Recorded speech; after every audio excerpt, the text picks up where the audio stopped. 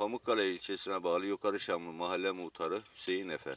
Ee, bu arazi yolumuzun daha önceki durumunda araziden, e, yoldan traktörlerimiz zorlanıyordu geçmekte. Ve burada bulunan halk bu yönden e, şikayetçi ama nereye şikayet edeceğini bilmiyordu. Ve şu anda Sayın Pamukkale İlçe Belediye Başkanımız ve bu fen işleriyle ilgili Başkan Yardımcımız Hüseyin Çolakoğlu vasıtasıyla ve bunun ekibiyle bu yolumuz şu anda graydarla düzeltilip ve halka açık kumlanıp daha güzel bir şekle getirildi. E, Bundan da hepimiz memnunuz. Allah razı olsun hepsinden. Bu yola şu anda traktörle zor geçtiğimiz yolda artık vatandaş arazisinin başına kadar arabasıyla dahil git, gidebilecek o konuma geldi. Bu yönden çok çok memnunuz ve hepsine de saygılarımı sunuyorum. Teşekkür ediyorum.